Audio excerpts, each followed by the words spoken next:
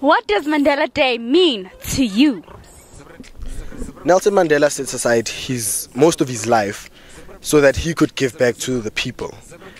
So I don't see why it should be a bigger deal to set aside only 67 minutes of one day in a year to help out people around you. Charity work should be a regular deed. So Mandela Day means that we are going to be celebrating him and actually like embracing what he did for us. Let's do the Madiba dance.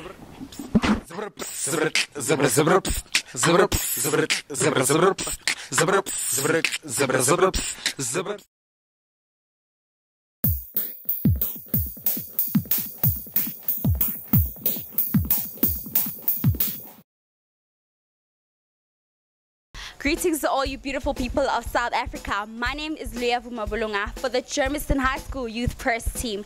Now in celebration of Human Rights Day, 21 March 2012, we decided to go and find out just how much children of our school know about cyberspace bullying. I think cyberspace bullying is when people use um, social media as a platform to bully other people emotionally. Free from harassment and bullying. A life free from degrading treatment is a fundamental human right.